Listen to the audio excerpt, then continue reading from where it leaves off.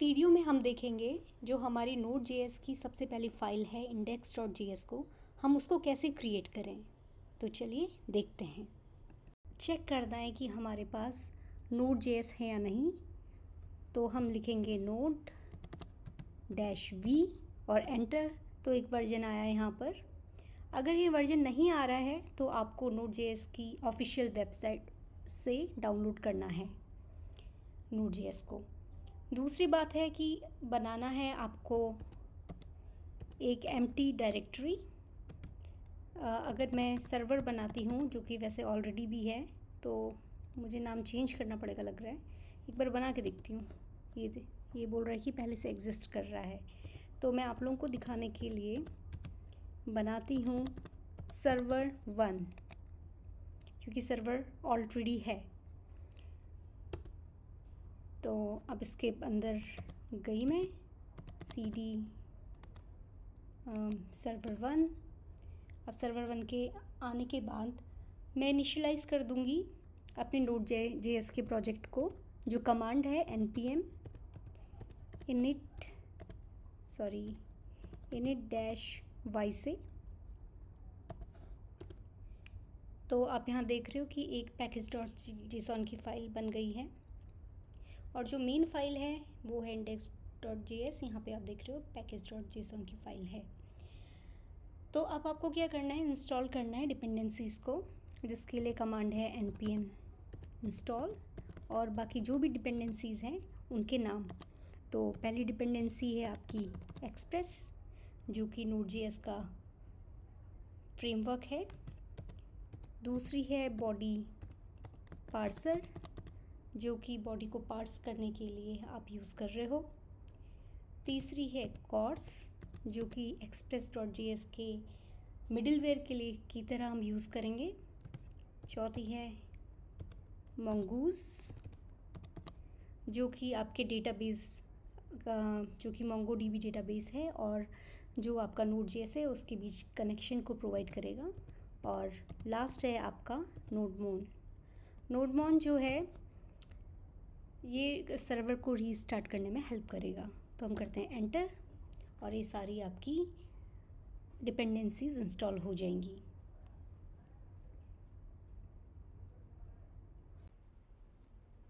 सबसे पहले हम अपने फ़ोल्डर में गए सर्वर और हमने कोड स्पेस डॉट से ओपन किया अपना कोड और अभी हम यहाँ देखते हैं कि हमारे पास है नोड मॉड्यूल का folder package lock dot JSON की फ़ाइल और पैकेज डॉट जेसॉन की फ़ाइल तो एक हम नई फ़ाइल बनाएँगे जिसका नाम है इंडेक्स डॉट जी ये हमारे प्रोजेक्ट की मेन फ़ाइल रहेगी. इसमें हम आ, सारी डिपेंडेंसीज़ को इंपोर्ट करेंगे. तो यहाँ पर हमारे पास जो डिपेंडेंसीज़ हैं उनका नाम है एक्सप्रेस कॉर्स और बॉडी पार्सर तो एक एक करके हम उनको इंपोर्ट करते हैं। तो सबसे पहले हम इंपोर्ट कर रहे हैं एक्सप्रेस को। जो एक्सप्रेस है, वो नोट जे का फ्रेमवर्क है बैकेंड के लिए यूज़ होगा। तो और यहाँ पे करने का तरीका है कॉन्स्ट लिखेंगे। इंपोर्ट करने के लिए const express equal to require express और जब हम रिक्वायर के अंदर ब्रैकेट लिखेंगे तो वो हमेशा आएगा आपका सिंगल कोट्स में। Single quotes express. तो ये आपका एक्सप्रेस मॉड्यूल हमने इंपोर्ट कर लिया है index dot J S file में। अब जो दूसरी डिपेंडेंसी है, बॉडी पार्सर, उसको भी हम ऐसे ही इंपोर्ट कर लेते हैं। जो बॉडी पार्सर है, वो हम यूज़ कर रहे हैं बॉडी को ऑप्टेन करने के लिए। कहाँ से? नेटवर्क रिक्वेस्ट से। नेटवर्क रिक्वेस्ट से बॉडी को ऑप्टेन करने के लिए हम यूज़ कर रहे हैं बॉडी पार्सर का। ये भी एक डिपेंडेंसी है और इसको भी हम ऐसे ही इंपोर्ट कर लेते हैं। तो यहाँ पे ध्यान रखने की बात है बॉडी पार्सर में पी कैपिटल है और ऐसे ही इसको लिखते हैं रिक्वायर और ब्रैकेट के अंदर सिंगल कोट्स में लिखेंगे बॉडी डैश पार्सर तो इस तरीके से हम बॉडी पार्सर को भी अपने इंडेक्स डॉट जीएस फ़ाइल में इंपोर्ट कर लेते हैं। जो तीसरी डिपेंडेंसी आती है हमारी, वो है कॉर्स कॉर्स जो है, ये एक मिडिल वेयर है एक्सप्रेस डॉट जे के लिए। तो इसको भी हम बिल्कुल इसी तरीके से इंपोर्ट कर लेंगे। और लिखने का तरीका वही है const cors equal to require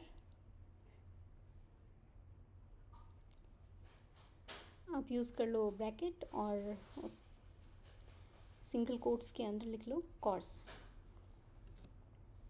तो ऐसे ही हमने अपने तीनों डिपेंडेंसीज़ को इंस्टॉल कर लिया।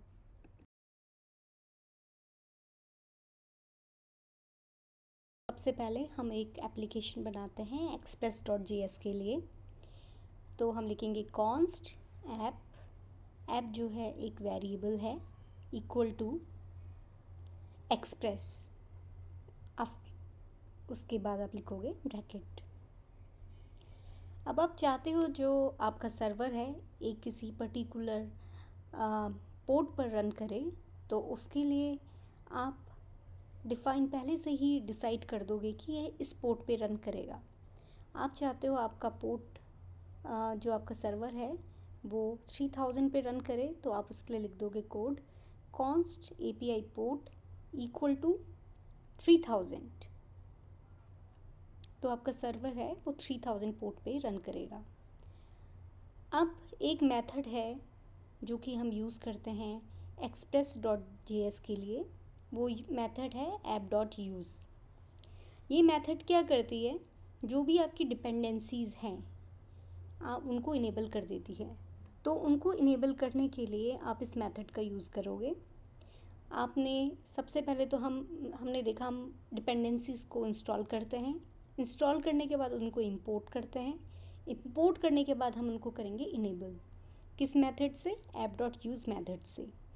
तो हम लिखेंगे ऐप डॉट यूज़ उसके बाद जो भी आपको डिपेंडेंसी इनेबल करनी है, यहाँ पे हम चाहते हैं कि बॉडी पार्सर इनेबल हो तो बॉडी पार्सर और बॉडी पार्सर से आपको क्या पार्स करना है? क्या ऑप्टेन करना है? हमें करना है U R L encoded data तो हम लिखेंगे dot U R L encoded data जो U R L encoded data है, इसका एक पर्टिकुलर फॉर्मेट होता है इसको लिखने का। तो हम इसको वैसे ही लिखेंगे।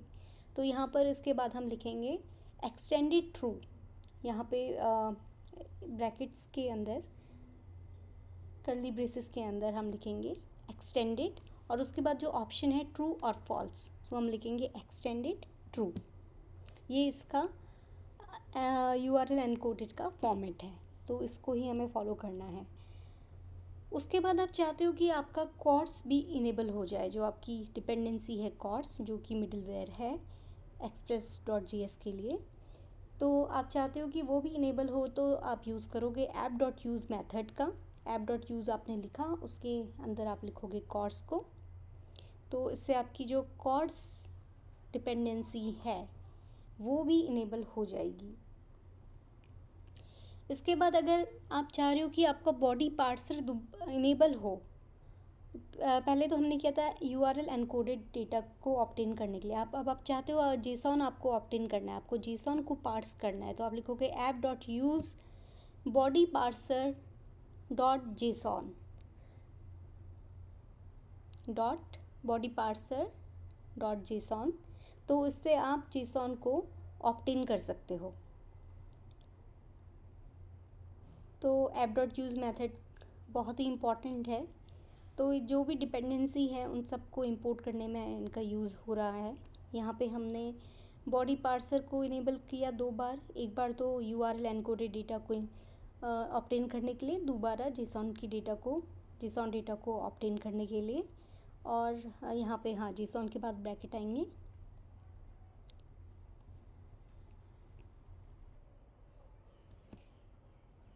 तो अब हम क्या करते हैं, जो हमारा सर्वर का रूट पाथ है, उसको एक गेट रिक्वेस्ट भेजते हैं।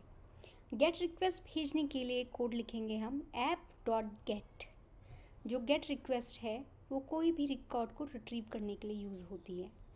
तो आपने लिख दिया ऐप डॉट गेट और जो आपका रूट पाथ है, जिसे हम स्लैश से डिफाइन कर रहे हैं, उसको आपने लिख दिया और इसको हमने बनाना है एक फ़ंक्शन ऐप डॉट गेट को एक फ़ंक्शन बनाने के लिए आपने लिखा इक्वल टू और साथ में आप लिखेंगे एरो और साथ में आप इससे देंगे करली ब्रेसेस तो ये बन गया एक फ़ंक्शन अब इस फ़ंक्शन के क्या है, दो पैरामीटर हैं।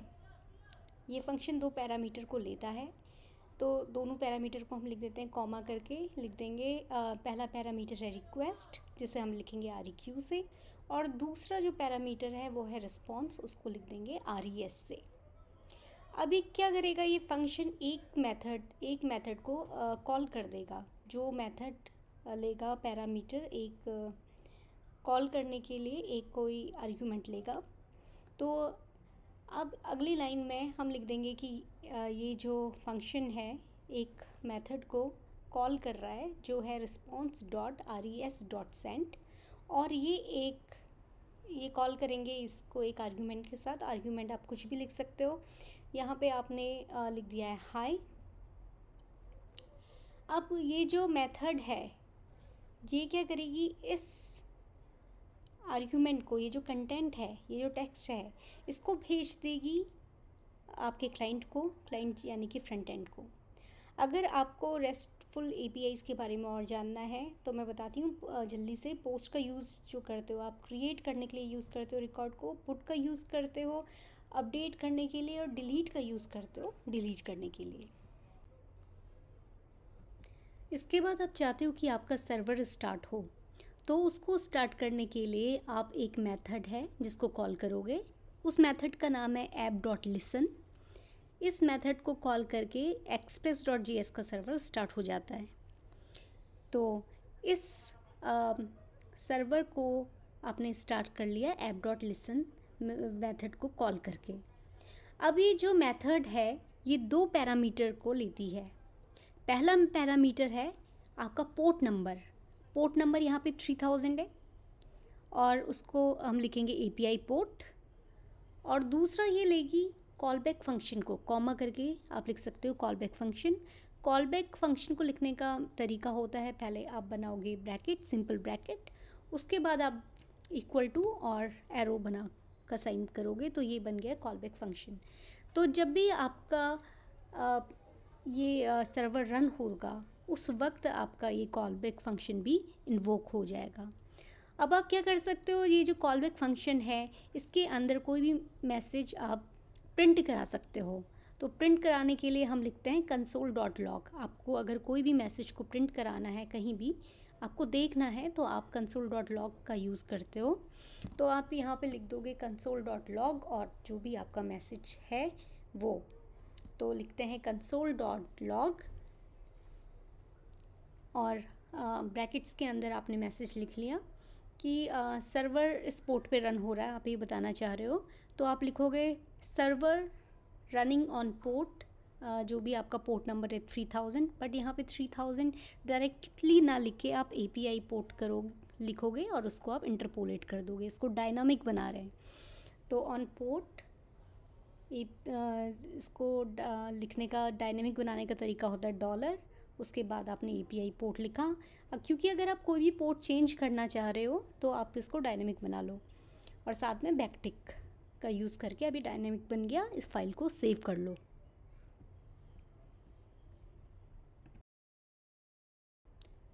तो अब इस फ़ाइल को स्टार्ट करने की कमांड है node index dot J S क्योंकि index dot J S file है। आप एंटर करो तो आपको, आपने जो भी मैसेज लिखा था यहाँ पे वो प्रिंट हो गया है। बाकी आप यहाँ पे जाके देख लो लोकल होस्ट थ्री थाउज़ेंड में आपको हाई लिखा हुआ दिखेगा। इसको मैं थोड़ा बड़ा कर देती हूँ, ताकि आपको देखने में आसानी लगे। तो इस तरीके से हमने देखा कि आप कैसे नोट डॉट जे में आप first file index dot J S को बना रहे हो और इसका रिज़ल्ट फाइनली आप देख रहे हो।